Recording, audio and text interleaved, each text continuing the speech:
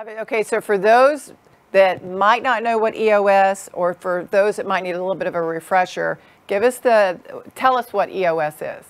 Yeah, you bet. So EOS, it's an acronym for the Entrepreneurial Operating System. So just as I shared there, EOS is an operating system. And so again, our focus is on entrepreneurial organizations with 10 to 250 employees. That's kind of the sweet spot.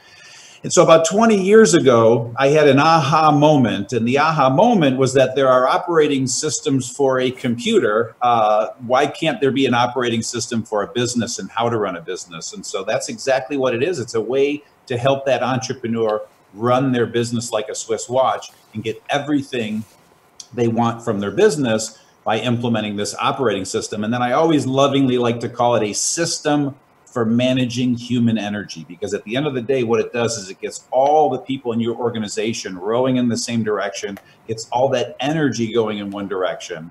And with that you could uh, conquer the world or whatever part of the world that you want to conquer. So why did you create it? Uh, well i go back to where i started which is this obsession about helping entrepreneurs. So uh, when i was in my late 20s is when I really got my calling and realized that I'm here to help entrepreneurs get everything they want out of their businesses.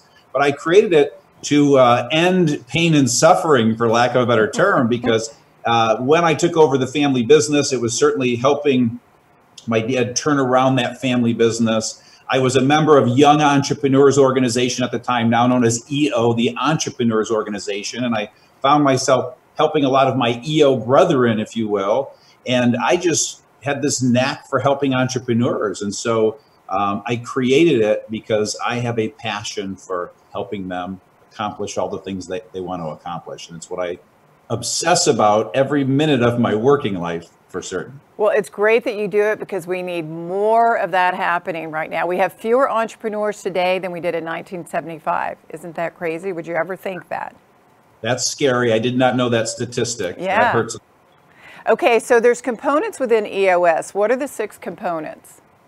Yeah, and so um, the six key components of EOS we call the EOS model. And so if you picture kind of a circular looking model um, with six equal pie pieces, if you can imagine that in your mind, where that stems from and so each thing we'll talk about is it's all about solving a problem okay and so the problem here was as I was working with my clients, as I obsessed all through my 20s about what made entrepreneurs and business, businesses successful, I would hear and observe all of these issues, and I lovingly like to call them the 136 issues that all entrepreneurs face.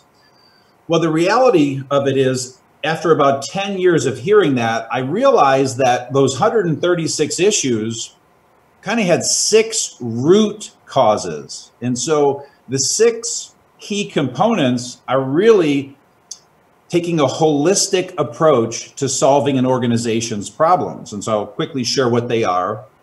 They are vision, people, data, issues, process, and traction.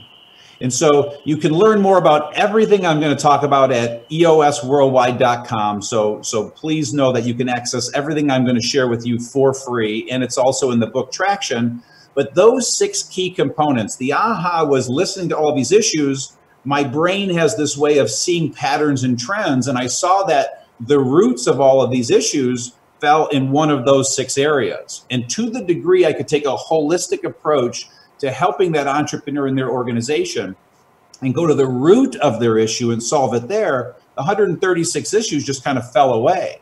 And so it was all about strengthening that vision component, making sure that the vision and plan for the organization was crystal clear to every single person in that organization. And again, everyone was rowing in the same direction. Is making sure that every single person in that organization is the right person in the right seat, truly great A player, rock stars, all the wonderful terminologies. Data was all about having the right data, a handful of numbers at your fingertips so you have a pulse on your business any given time. Issues was all about building a muscle top to bottom in the organization so that issues would not linger. Oh. Process was all about really dialing in the business model of the business and running that business like a Swiss watch. And traction was bringing discipline and accountability. And so, again, taking all those symptomatic 136 issues and then focusing on the six key components, the roots of those issues, strengthening those roots, everything kind of fell into place.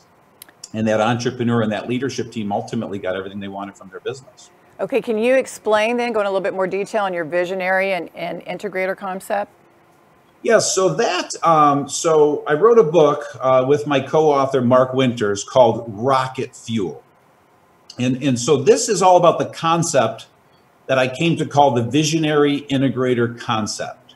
And this goes back, I was 27 years old when I had this aha, and it was in the family business when we were doing the turnaround. I was structuring the organization, doing a restructuring, and I realized that my dad was what I came to call the visionary and I was the integrator. And, so that has spawned now almost 30 years later into hundreds of thousands of companies using that terminology. Again, the problem that I solved with that is if you are a true entrepreneur out there, I call you a visionary, a visionary entrepreneur you're one of these wild and crazy people. You're builders of things. You're very creative, lots of ideas. And the challenge and the problem is when a visionary entrepreneur is left on their own to build their organization without an integrator to counterbalance them, there is chaos. And rarely does the company ever grow to the next level.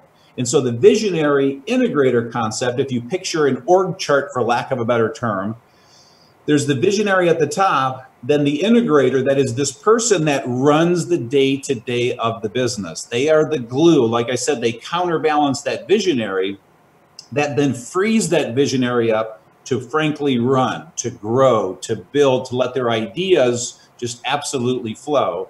And that combination in organization is what Mark and I came to call rocket fuel. And in saying that, as you're listening out there, if you truly, after hearing that, believe you're a visionary entrepreneur, I urge you to go out and find your integrator. It will take you to the next level. At the same time, some of you out there are truly integrators and you're really not true visionary entrepreneurs. And your opportunity is to go hitch your wagon to a visionary, and that will create rocket fuel for you.